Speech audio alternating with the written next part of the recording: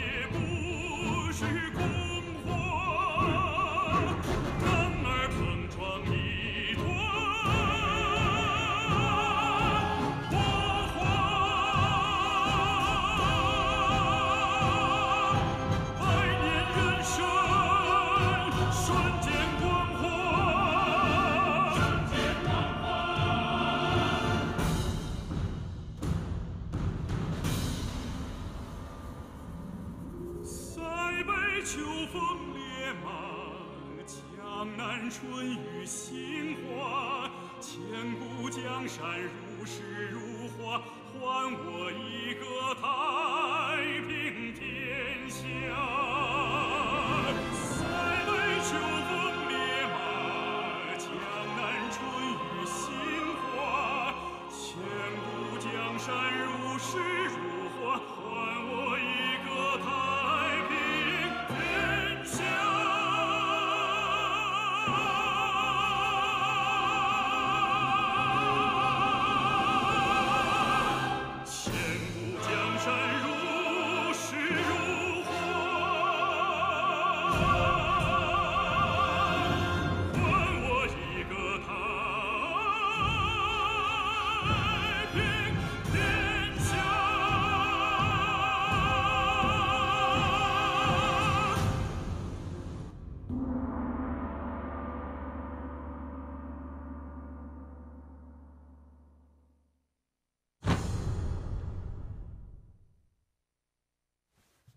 実は黄金が撤退せざるを得ない一計があるのですがご了承いただけるかどうか。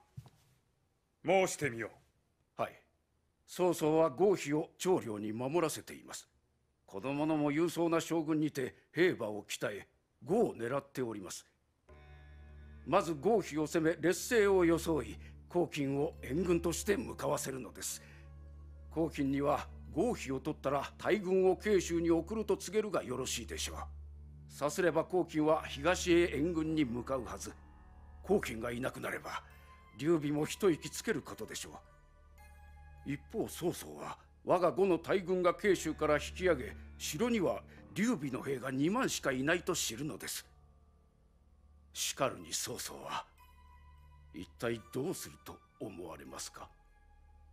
曹操は必ずや慶州の劉備を攻め災いを除こうとする。いかにも曹操は戦好きです。我々が合否を攻めている隙に必ず慶州を襲う。曹操と劉備が争っている間に我らはじっと待ち好機を伺うのです。死刑よ。そなたの話闇夜の豆苗だ。言う通りにしよ痛み入ります。それでは我が君どうぞごゆっくり。失礼いたします。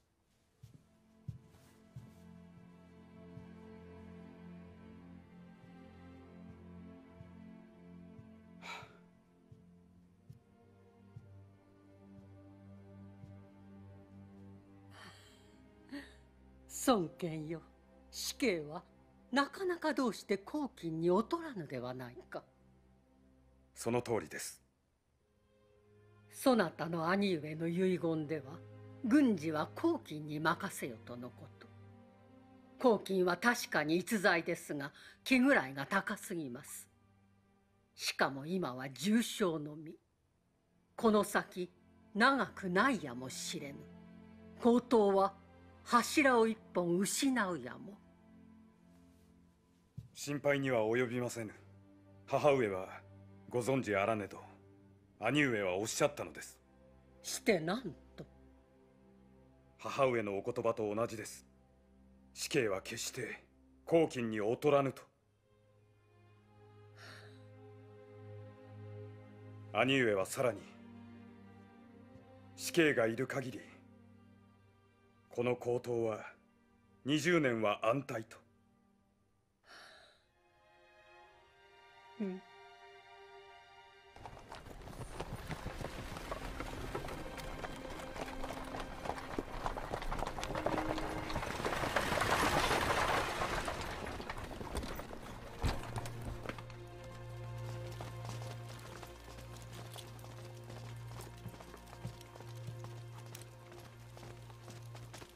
死刑殿やっといらしたかああ。どうです？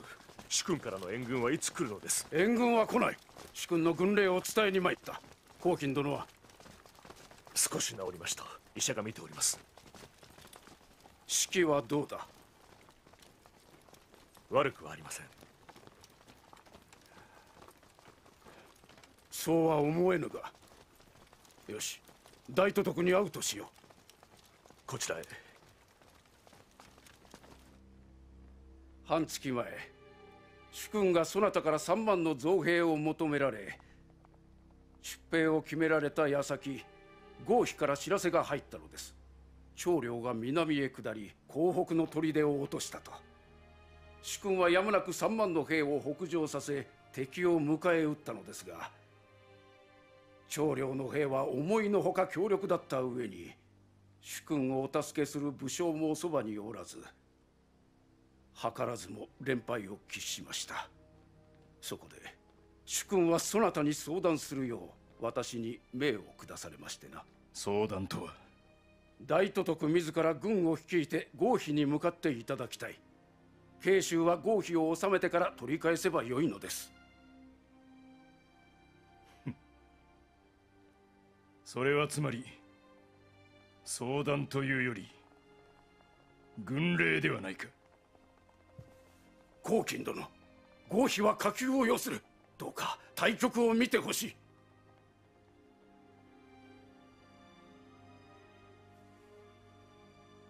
い。よいか。水軍を持たぬ長領はどんなに強力でも高等の脅威にはなり得ぬ。だが慶州を失えば必ず災いとなる。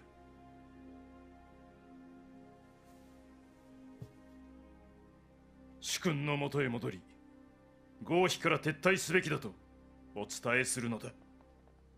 長領を牽制するだけの兵を残し三万の兵は劉備の討伐にと。黄金殿そなたは誰より兵法に通じている。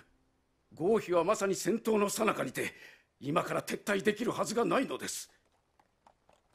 慌てて撤退すれば総崩れを起こします。さすれば我らの江北の各城もおそらく陥落してしまう。江北の小さな城より今は慶州だ。確かに。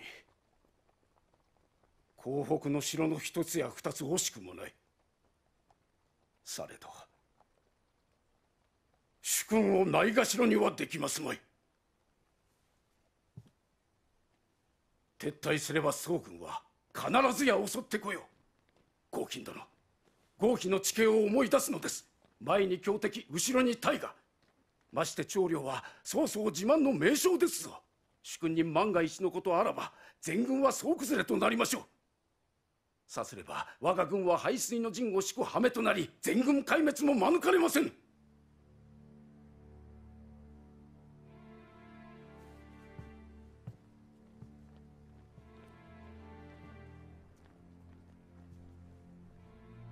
黄金殿。主君に万が一のことあらば高等の臣民に顔向けできませぬぞ。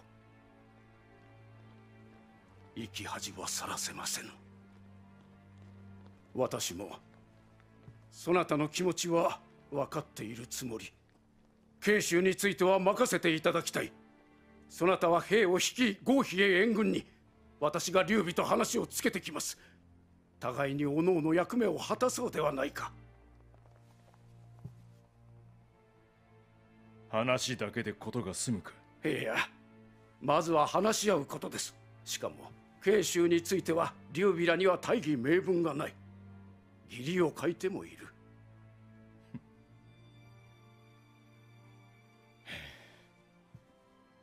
そなたの考えは甘いな。黄金殿は考えすぎです。未だ慶州の奪回が叶わぬ以上まずは考えの甘い私にご一任を。たとえ奪回を果たせずともそなたのために劉備の様子を探ることはできます。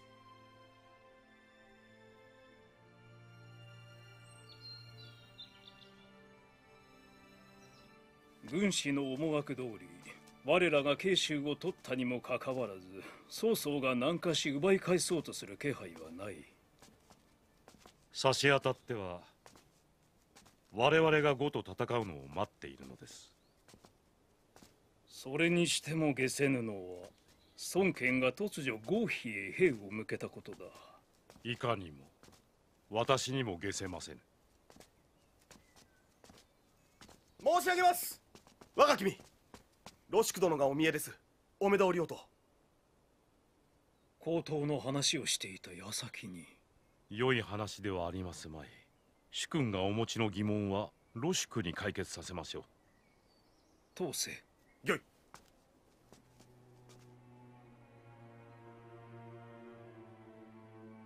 つまり死刑殿は何としてもこの慶州が欲しいと。いいえ。欲しいのではなくお返し願いたいのです。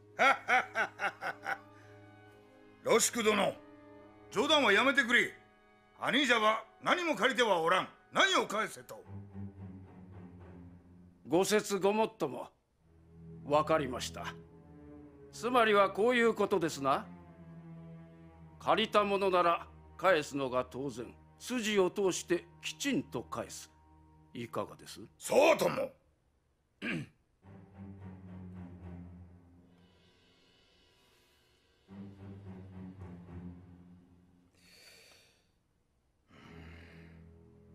間違ってないよな。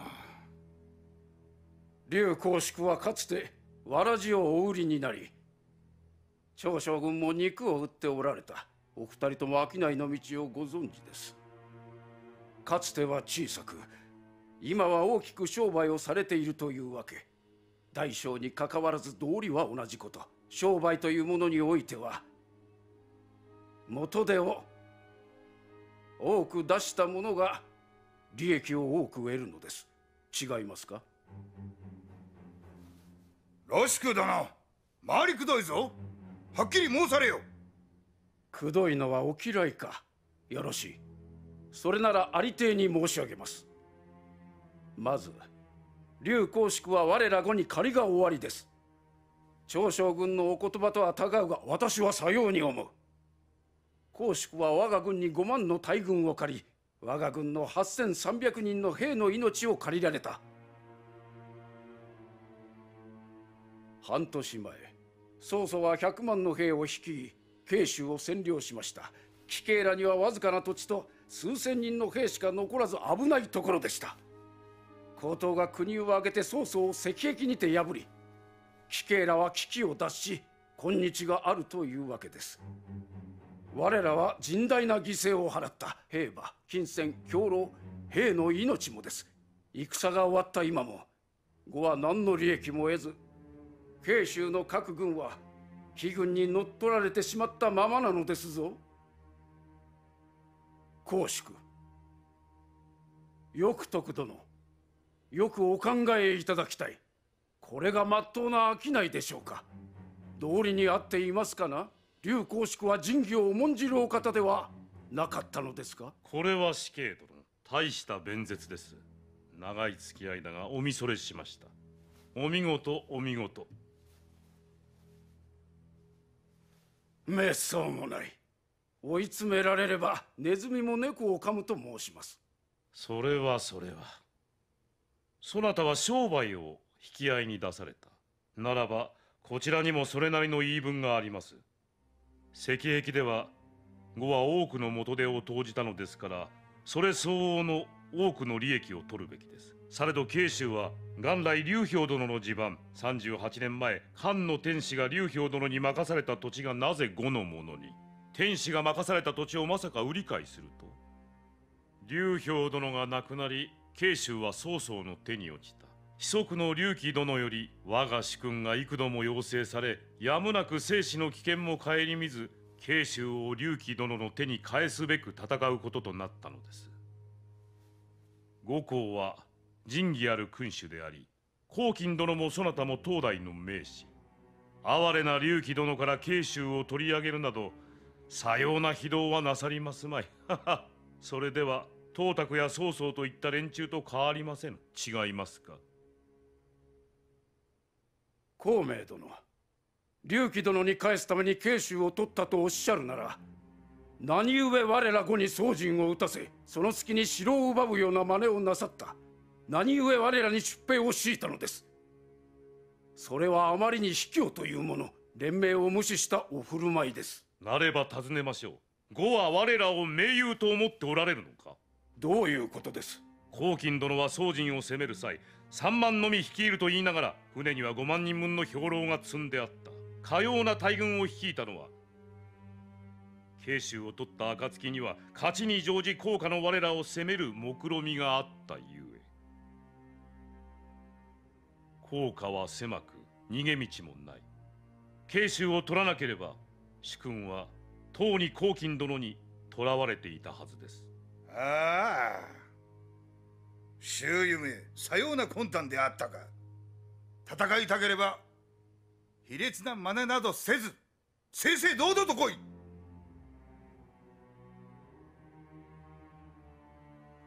口で争っては孔明殿にはかなわない。実は死刑殿私は慶州を隆起殿にお返しいたす所存。朝廷にも隆起殿を慶州の志士に任じた上で訴業を継がせるよう上奏いたしました。隆起殿はいずこに。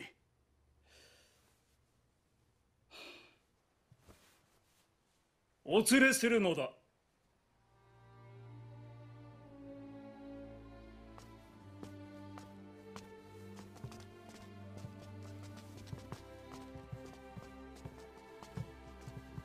我が君。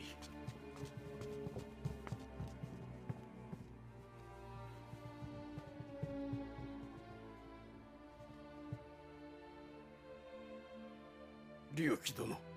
隆起殿。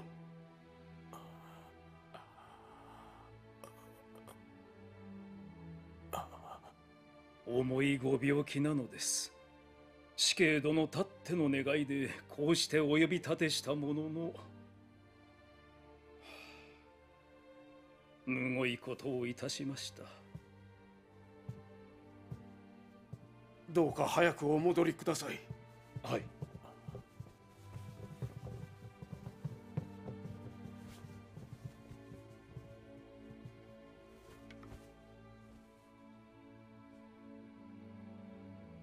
私の一存ですが本日のところは譲ります。主君には慶州を取らぬよう伝えましょう死刑殿さすがは高等一の善人であられるお方。隆起殿に成り代わり御礼申し上げます。それでは私も我が主君に代わって公主にお願いが。何でしょうか。隆起殿がご存命なら構いません。なれど隆起殿が亡くなれば公主が慶州を占領するのを認めるわけには参りません。隆起殿がご存命の間は主君が城を守る。見まかられた際はその時にまた話し合えばよい。話し合いとは否こと我らはすでに譲歩した。これ以上は無理です。隆起殿が亡くなった際は即刻慶州を我らに返すべきだ。そなたはもっとおおらかな方のはず細かいことを黄金殿のごとくしつこく言い募ると。大都督をよくご存知のようで何よりです。あれは手のつけられぬ感触持ち一旦腹を立てると情け容赦がありませぬ。主君ですら止めることができぬほどだ。あの大都督が腹を立てれば我が十万の大軍も全員こぞって火の中水の中へと飛び込まざるを得ない。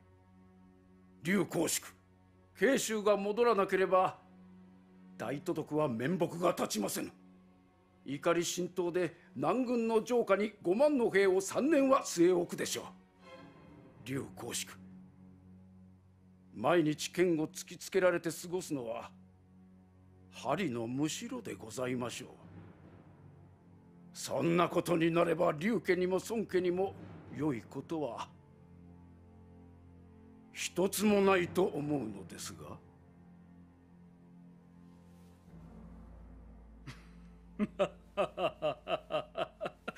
よろしい。さすがは死刑殿。我らの今後の心配までしてくださるとは恐縮です。孔明よ。お言葉に従おうではないか。御意さ死刑殿。これにて型がつきました。酒でも飲みましょう。一息入れた方がよろしかろう。ええ。結構ですな。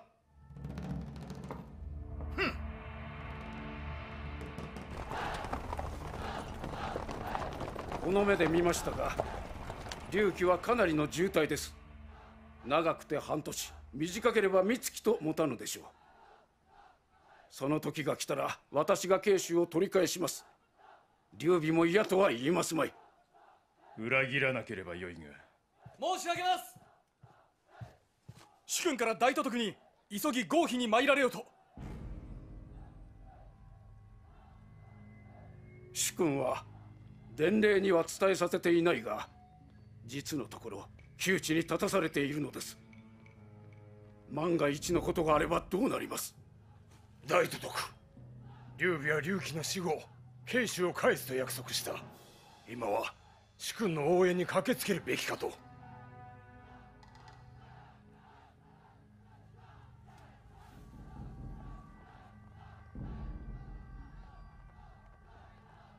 帝府。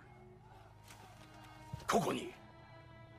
直ちに兵と船を率い合否の主君のもとへ向かえ。は関寧は波領軍を守れ。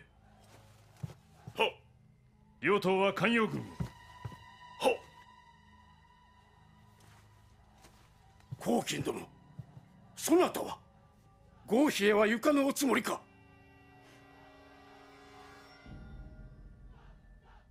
私か。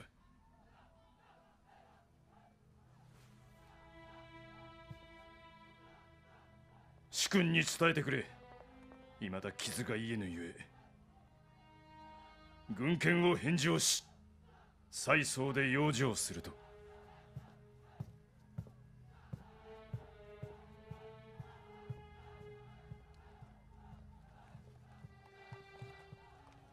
先日南軍を攻めた折には傷のことなどおっしゃらなかった。なぜ合否の時だけ養生されるのでしょああこれは矢の傷ではない。心の傷なのだ。矢傷は宗人によるもの。なれば心の傷は誰に？孔明だ。いや。自分で自分につけた傷だ。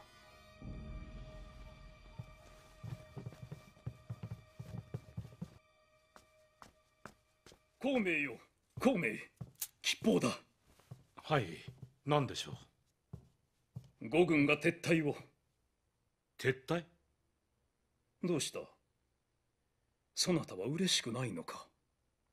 以前した話を覚えておいででしょうか？はて。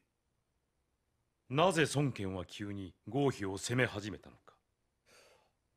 そういえばそなたはロシクに疑問を解決させると。結局謎は解けませんでしたあれ以来そのことを考え続けようやく分かったのです。孫権が周囲の撤退を望んだのだと吉兆ではありませんぞ。何故さように？孫権やロシクは対局を見るが周囲は違います。されど高等の地では周囲は絶大な辛抱を得ています。孫権が周囲を抑えられればよろしいのですがもし抑えられないとなると我らと高等の間に摩擦が。幸運にも慶州を我が物にする時間の余裕はまだあります。心配なのは龍騎殿のお体です。医者に聞いたのだが。それで？龍騎殿はもう長くは持たぬであろうとロシク殿あれを。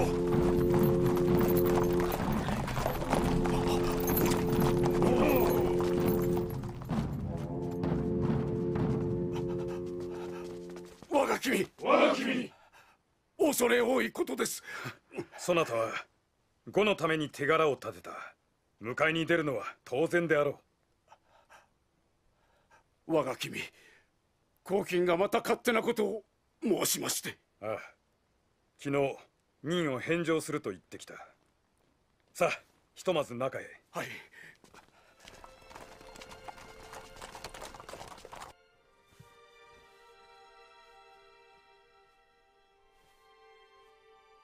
信じていただいたにもかかわらず仰せの通りに事を運ぶことができず申し訳ございません。我が君黄金は養生に戻りましたが関寧両党の両軍を撤退させてはおりません。思うに隙を見て慶州を討つつもりかと。まあさように己を責めるな。黄金の気性は承知している。南軍から離れさせただけでも大手柄だ。寛大なお言葉誠敬服いたします。実を申せば兄上の伯父様ご逝去の後後の前途を案じておりました。なれどこの半年主君の思慮深さに考えが変わりました。いつの日か先代を超え偉業をなされるでしょう。私には何の力も策もないのだぞ。父上や兄上にはかなわぬ。いいえ。主君はいずれ全土を束ねられ皇帝として君臨されることと。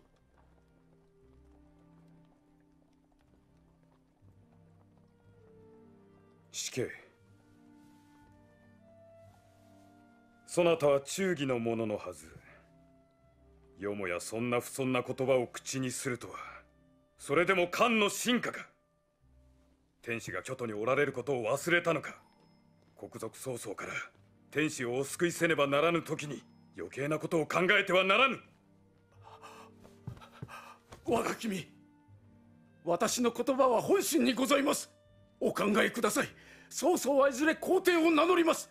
劉備も官室を守るためと申しつつ実の狙いは天下取りです。主君も天下を志さなければ曹操劉備と争えませんそれでいかに皇統の地を守ることができましょうや。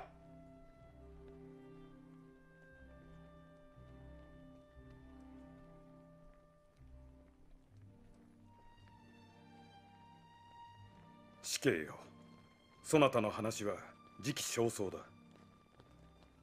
二度とさようなことを口にしてはならぬ。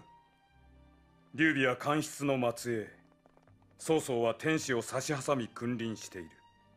されど私は単なる片隅の存在だ。身を潜め時期を待つほかはない。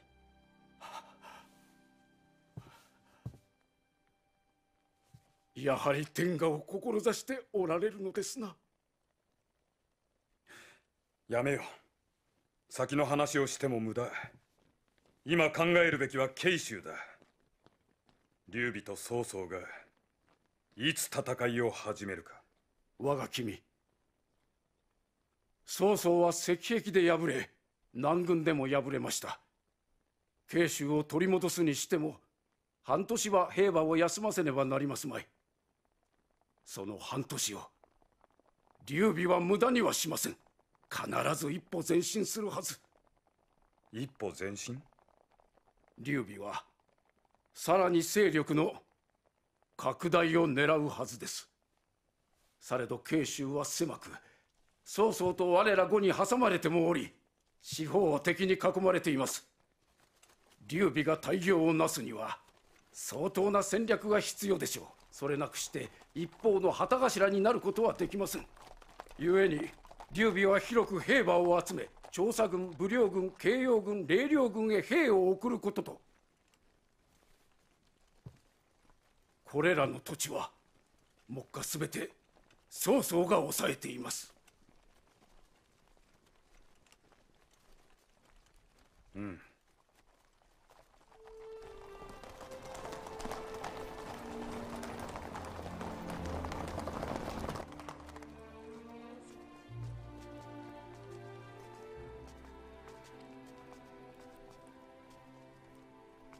孔明よ慶州は南北の敵に挟まれ孤立している。長くは持つまい。慶州を治めるには慶州の賢人を頼ることです。騎乗よ。慶州では馬氏の五条白尾最もよしと皆が申しておるそうだな。そちには良い考えがあるに違いない。痛み入ります一つ教えてくれぬか。お言葉通りこの慶州は山の頂に立つ一本の木と同様でありましょう。東西の風にさらされています。倒れたくなければ葉を茂らせ根を生やし。さらには林となることが寛容なのです。それにはどうすればよい？州都の常陽は毎年の戦で人口は激減兵も足りません。しかし南の武領調査慶陽霊領は大乱にも合わず兵も兵糧も十分。もしこの四軍を取ることができれば慶州も安泰でしょう。四軍のうちどこから攻めるべきか。将校の西霊領を取るべきです。次に武領。その後東へ移り慶陽を取り最後に調査です。さすがは騎乗ですな。極めて妥当な方策です。ぜひ採用なさいませ。なれどその前に隆起殿に養生を願わねば。御事乗りの有無にかかわらず慶州志士となっていただきその名のもとで四軍を取るのです。四軍はもともと竜一族の管轄ですから。よしそういたす。あ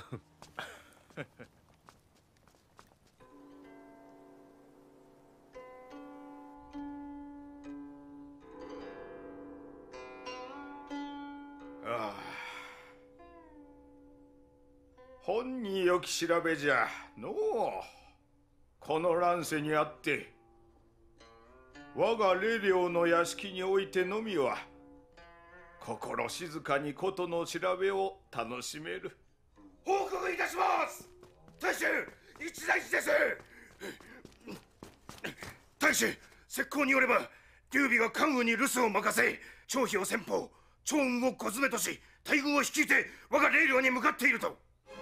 劉備軍の数は？一万ほどかと。それほど多くはありません。父上ご安心を。うん数こそ多くはないが我らと違い劉備軍は連日戦っておる。いずれも百戦錬磨の武将揃いじゃ。さらに張飛趙雲の優勝もいる。あやつらと比べ我らの兵は皆羊のごとき頼りなさであるぞ。父上気弱すぎます。我らの慶道英も万夫不当の優勝。慶道英の力には劉備もかないません。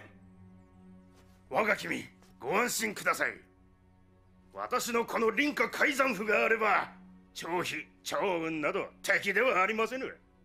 必ずや諸葛亮と劉備を生け取り献上いたしましょう。よし劉備を撃退できたら釈将軍に任じ功に報じるよう朝廷に上奏しよう。感謝します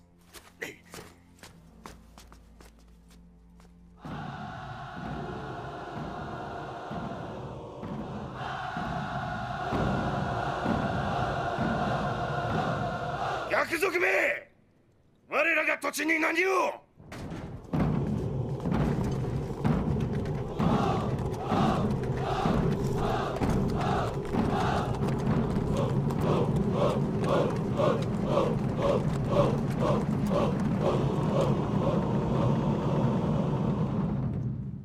そなたは何者だ？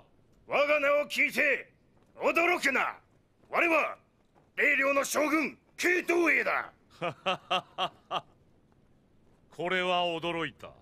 無名の輩にかような大声の持ち主がいたとはな。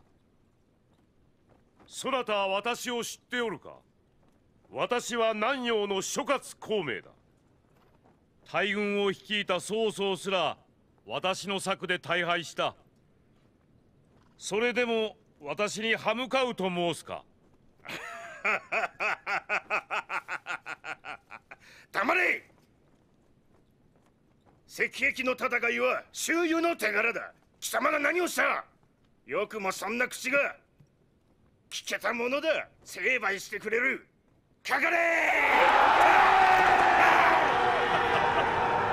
すよしえたい回り込め!立てたい!位置につけ!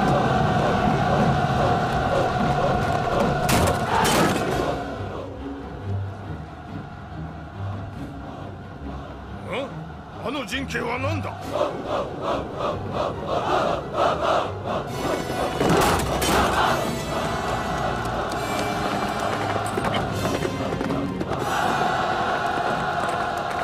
諸葛孔明は夫人に優れています。これがその陣形でしょう。急げ。伝令を出し危険を冒さぬよう兵道営を止めるのだ。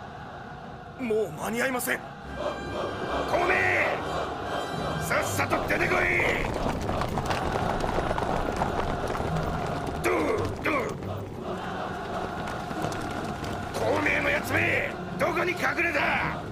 さっさと出てこい。将軍あれを孔明はあそこです。よし皆の者私についてこい。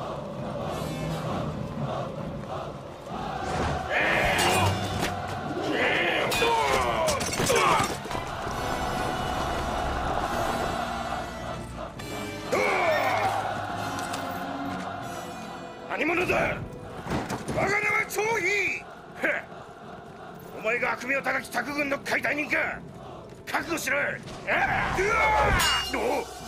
うわ悪名高木だとよくも言ったな。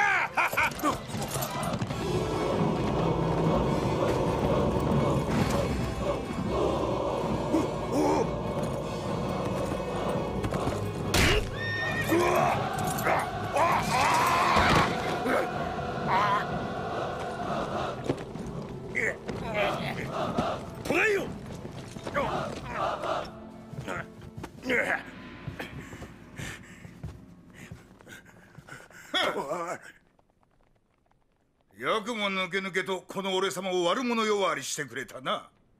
え？そのだらしないざまは何だ？長将軍実は私も元は肉の解体に将軍と同じ仲間です。何？その後劉大将の配下となり将軍となったのはただ食いぶちを稼ぐためどうかお許しください。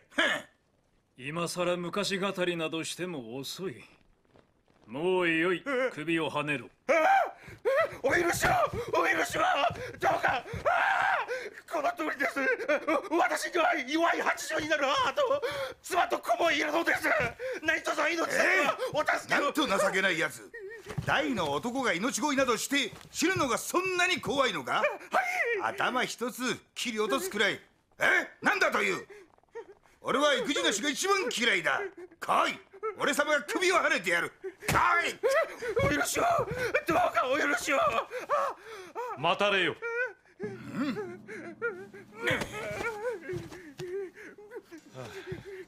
慶将軍しくじりましたな。翼徳が一番嫌いな言葉で罵ったとは。申し訳ありませんでした。二度と申しません。金輪際口にいたしません長将軍舌を切り落として結構ですからどうか命だけはお助けください。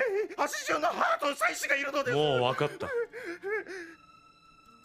高校の心に免じ代わりに口添えしてやる。よいか。何か手柄を立てれば命だけは助けてやろう。お助けくださるなら内定となり貴軍は引き入れ竜の龍剣を捕らえ献上いたします信じると思うか？すっかり改心いたしました。決して裏切ったりいたしません。よくとくよ。こう申しているのだ。助けてやるがよい。我が君いかがですかな？良いだろう。その通りにいたせ。感謝いたします。ありがとうございます。ほどくのだ。はっ！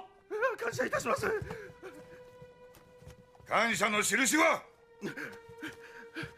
今宵遅く霊領城下においでくだされば松明を合図に城門を開けお迎えいたします。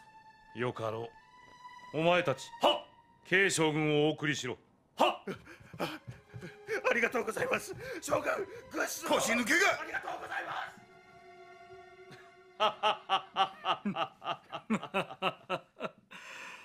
孔明あの慶道英という者口だけは達者だ核も即座に主君を守備よく売り渡すとはあんなやからの言葉を迂闊に信じてはなるまいぞ。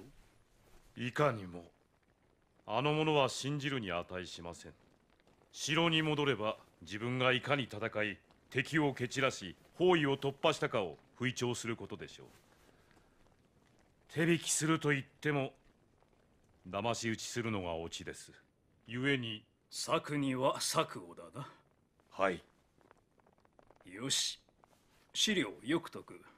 よいか。こたびの出兵で南の四軍の大使を倒すことは難しくない。難しいのは四軍の土地を奪いつつ四軍の民心を得ることだ。私の望みは戦わずに済むなら戦わぬこと。人を殺める数も少ないほど喜ばしい。それが最高の陣であり善である。よいな。統治の官僚に恨まれてはならぬ。わかりました。主君にとって四軍はすでに我が血も同然なのですな。孔明は何事もお見通しだな